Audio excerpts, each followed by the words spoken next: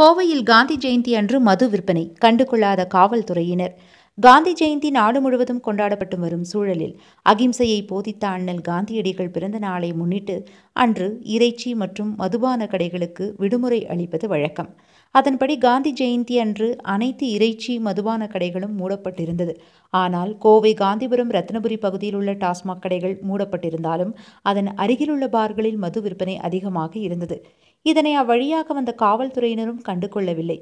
இது குறித்து அப்பகுதி மக்கள் கூறுகையில் காந்தி ஜெயந்தி அன்று அனைத்து டாஸ்மாக் கடைகளும் மூடப்பட்டிருந்தாலும் இப்பகுதியில் உள்ள டாஸ்மாக் கடைகளின் பார்களில் மது விற்பனை உள்ளது இதனை அரசு அதிகாரிகளும் காவல்துறையினரும் கண்டுகொள்ளவில்லை ஆளும் கட்சியினர் நடத்தும் இந்த பார்களில் தான் மது விற்பனையாவதாக குற்றம் சாட்டினர் To get instant news updates, like the Kowai Post page. Click on See First to view the news first. Also, in YouTube, subscribe to Kowai Post channel to watch interesting news and videos.